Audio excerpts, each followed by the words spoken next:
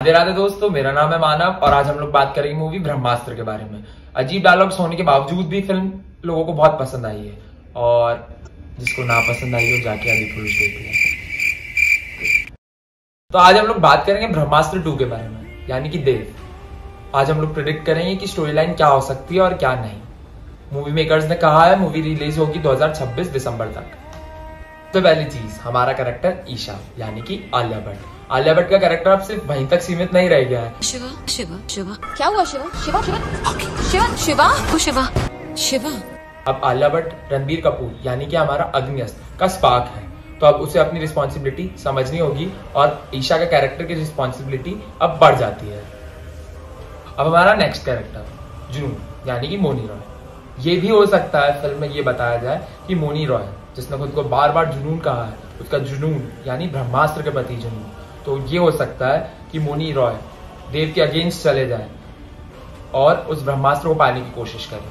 क्यों? क्योंकि वो जानती है ब्रह्मास्त्र की असली वैल्यू और अगर उसके पास ब्रह्मास्त्र मिल जाए, यानी कि पूरी दुनिया उसके हाथ में मिल जाए, और वो उसके कैरेक्टर को वैसे ही बैड बताया गया है तो वो देव मूवी यानी ब्रह्मास्त्र टू की सबसे बड़े विलन भी हो सकती है। शायद ये भी हो सकता है कि देव और शिवा एक हो जाए और मोनी रॉय, यानी जुनून के खिलाफ लड़े। कुछ फैंस का ये भी मानना है कि अमृता का कैरेक्टर शायद मरा नहीं है।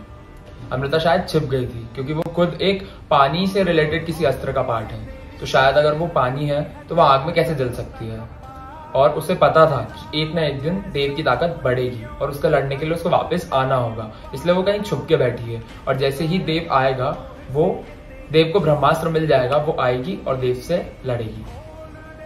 शायद फ़िल्म मेकर्स ये भी कर सकते हैं कि ब्रह्मास्त्र टू यानी कि देव एक सीक्वल ना होके एक प्रीक्वल हो। उस मूवी में ये ना बताया जाए कि ब्रह्मास्त्र का देव के पास आ जाने के बाद क्या हुआ। मूवी में ये बता सकते हैं कि आखिर देव और अमृता मिले कैसे और देव और अमृता आखिर है कौन?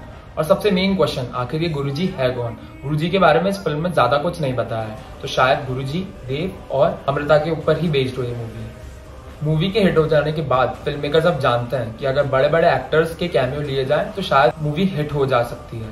जैसे कि हम लोगों ने देखा फ़र्स्ट में शाहरुख खान और नागार्जुन के कैरेक्टर को लोगों ने बहुत पसंद किया गया। तो शायद ये भी हो सकता है कि बड़े बड़े एक्टर्स भी इस मूवी में आके अपने कैमियोज दें। इस वीडियो में बस इतना ही। अब लेते हैं अलविदा। नेक्स्ट वीडियो में मिलेंगे नए कंटेंट और नए थ्योरीज के साथ।